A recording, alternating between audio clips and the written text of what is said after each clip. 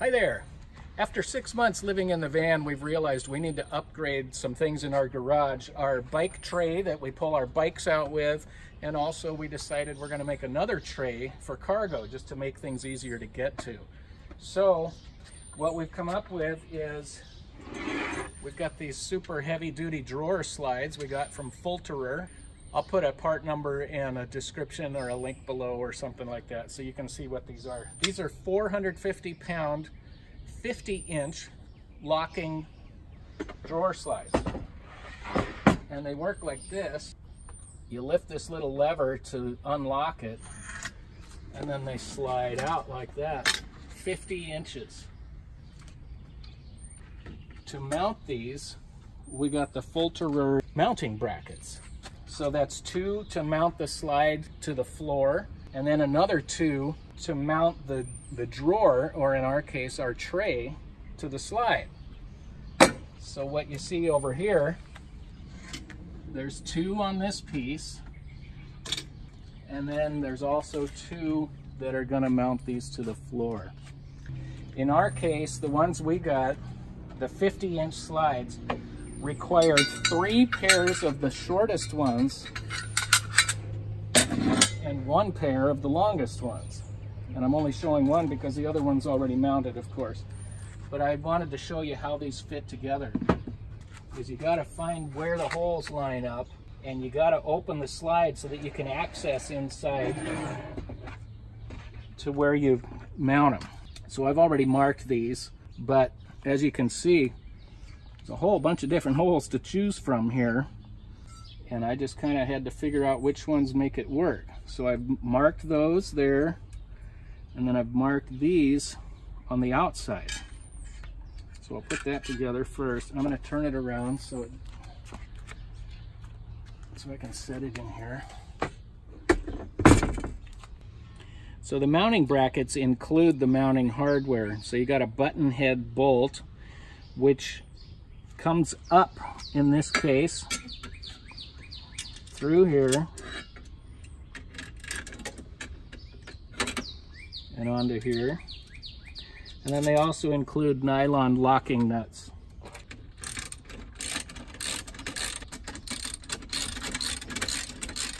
The one up forward here is a little different. Okay, I've turned this around. So the one that I mounted just now is back here. This one needs to mount right here, but as you can see, we have to move this out of the way to get to it. So here's one hole that I'm gonna use, and then I'm gonna slide this back in to access that hole. So this is where it gets a little more tricky, but that's what we're gonna do. So I'm gonna start, button head screw goes in. You'll know you did it wrong if you do it the other way and put it this way with the nut on it because this thing won't slide because it's too long. So the bolt has to go from the inside towards the outside on here. And then you also need to find the right set of holes on the bracket to put it through so that you can make sure the other hole is going to line up with holes on the bracket as well. So there's one. There's the other one. So, I now have it set up so that this can mount to the floor. Okay, so now I'm going to put the short one out here because it's easier to get to and it'll give me something to grab to slide this drawer slide back and forth. I want to go to the second one here, second hole on the bracket, and then I want to go to the third hole at this end of the bracket.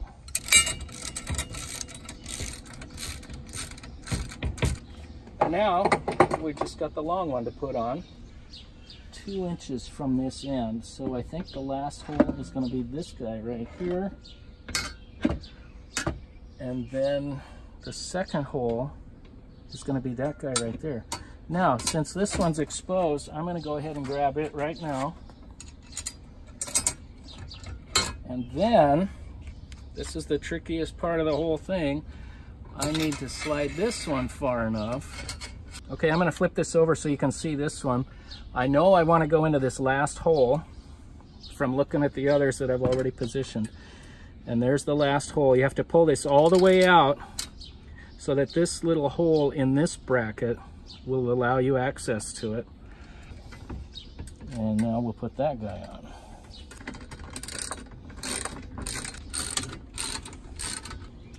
One thing I forgot to mention is these ones that the drawer is going to mount to, you want to put the bolts through the bottom set of holes, not the top set.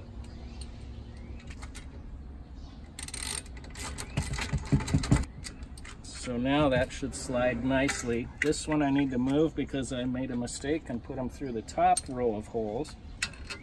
The top row of holes is for the ones that mount this to the van. All right, now, there, that works. And that's how they work. That's how you put those on. The next thing to do is determine where you want to position these so that you know how wide to cut your trays that you're going to use. So I'll show you that part next. Using our old tray as a guide and knowing that we want to put two more bikes on it, what we've determined is that we need at least 25 and a half inches. 25 would probably do it, but 20, 25 and a half would be better.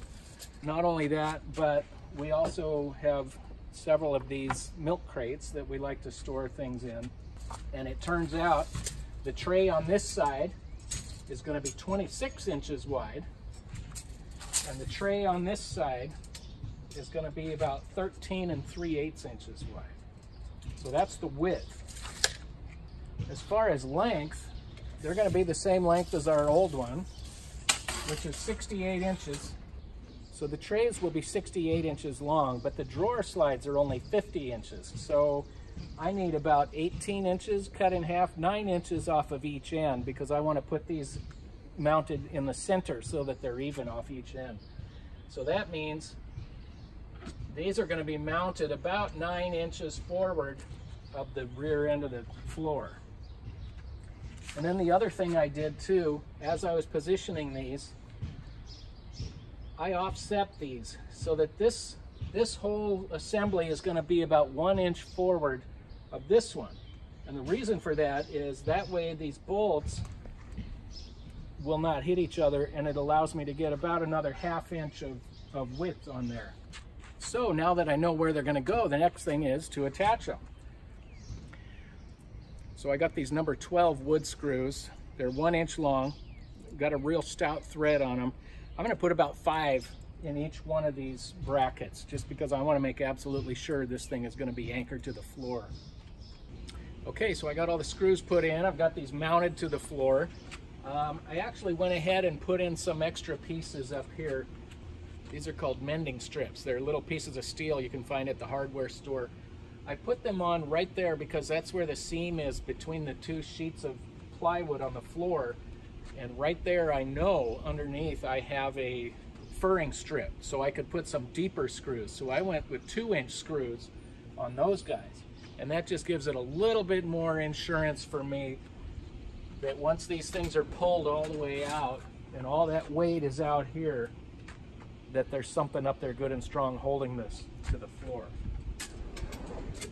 So this is done. That's cool and just in time because look what just arrived. This is our aluminum for the trays.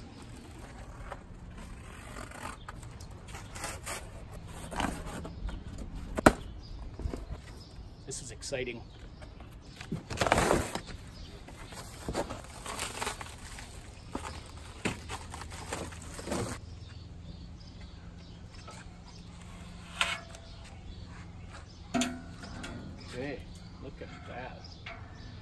Want to file the edges a bit.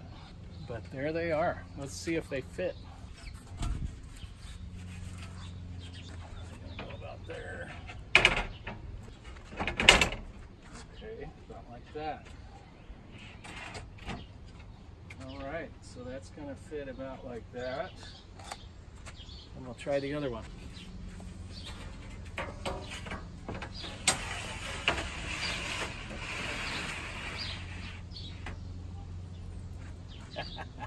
cool.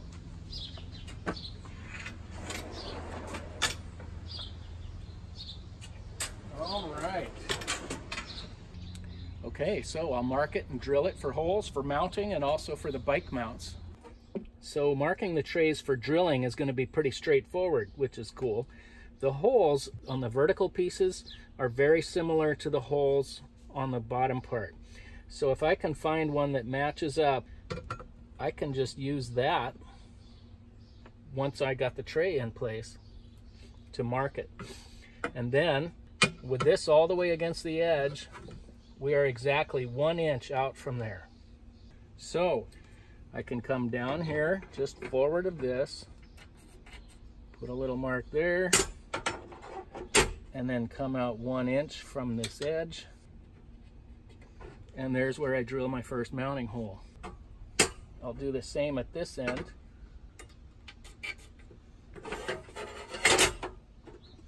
And one inch, and there it is. So the next thing to do is mark the rest of these, drill them all, mark the holes for the bike mounts, drill those. But before I do anything, I'm gonna take these things out and put them in the garage. I'm gonna sand down the edges or file the edges because these things are really sharp. All right, I went ahead and filed these edges so they're nice and smooth. They're not gonna cut anybody, so that's nice. Um, and now it's just a matter of mounting this plate down onto these mounting brackets. If you look here, you can see that I have already put some bolts up from the bottom with nuts on the top. So I've got two on this mounting bracket, two on that mounting bracket, and I've only got one on each of these. And the reason for that is I can only reach one from underneath on this one because there's no way to get under here to put those on. So what I've done is I've temporarily removed the bolts that were holding these brackets to the drawer slide. So I removed two from this bracket, two from that bracket. I left one here and one here, and I removed the forward ones. And the reason for that is, now I can pull this back, and I can pivot the whole thing up on these ones that I left in. And now I can get underneath to put these in.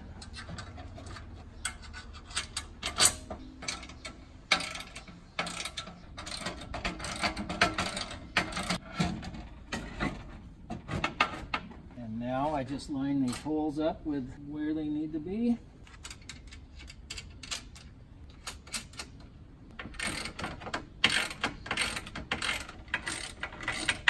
And I just put these four back and this thing's done.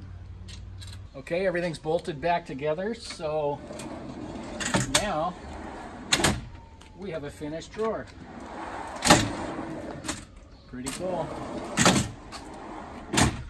So next we're going to position all the bikes on the large one on this side to figure out how to get them all to fit.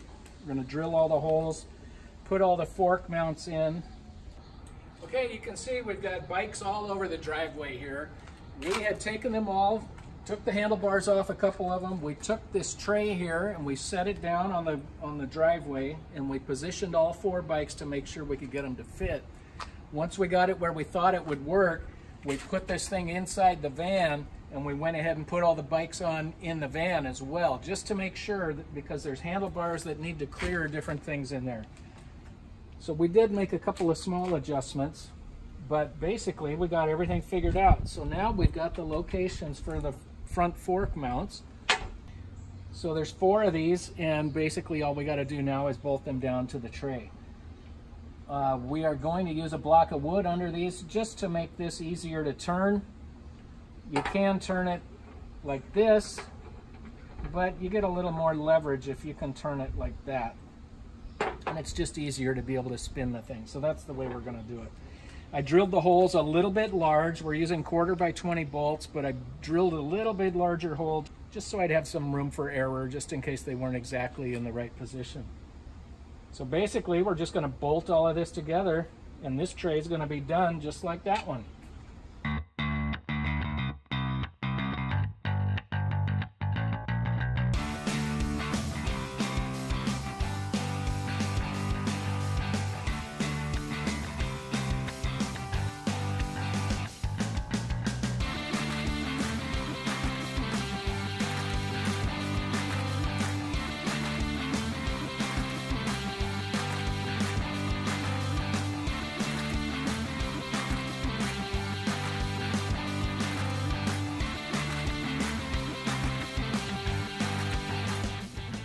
We got the bikes on. Let's see how it works.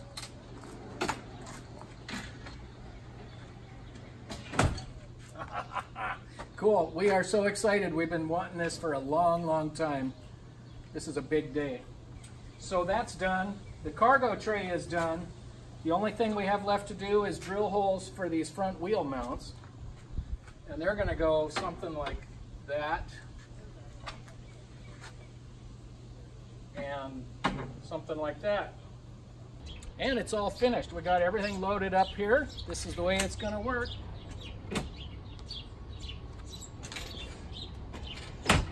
And we are ready for the next project. So give us a thumbs up if this video was helpful to you and subscribe to our channel as well and you can see more videos like this. And be sure to look at the description below because we put links to all of the products we use to build this project. So thanks so much. We'll see you on the next one. Bye.